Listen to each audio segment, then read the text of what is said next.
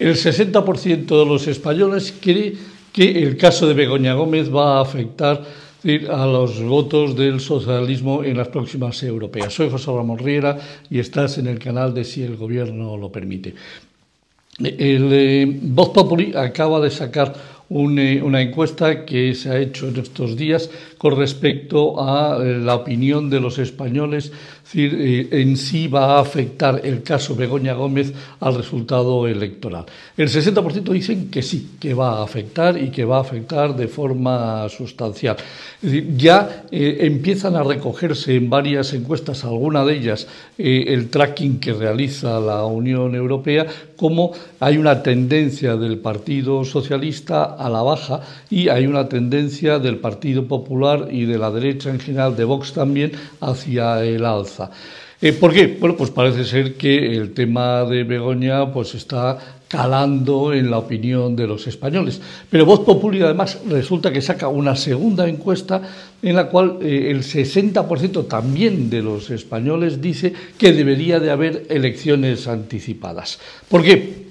Necesariamente porque consideran que en estos momentos eh, suceden varias cosas. La primera, la incapacidad del gobierno para gobernar, la incapacidad del gobierno para sacar los presupuestos generales eh, eh, del Estado para adelante, la incapacidad del gobierno para poder gestionar este entorno en el que estamos todos metidos de los españoles que votan al Partido Socialista, también el 40% creen que el caso Begoña Gómez va a afectar y que además deberían de anticiparse las elecciones. Por supuesto, esto el único que puede tomar la decisión es Pedro Sánchez y si la toma va a ser en función de sus únicos intereses y no de los intereses del pueblo español.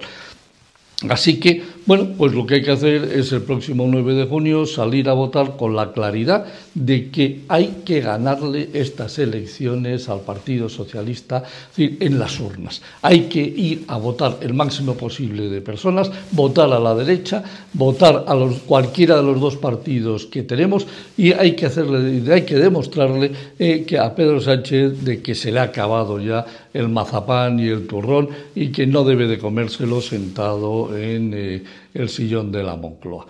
Bueno, si los mantendremos informados durante todos estos próximos días hasta el día 9 de junio de datos que vayan siendo de interés para todos vosotros y que puedan ayudaros a tomar una decisión.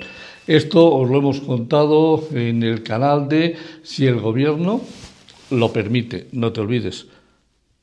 Síguenos.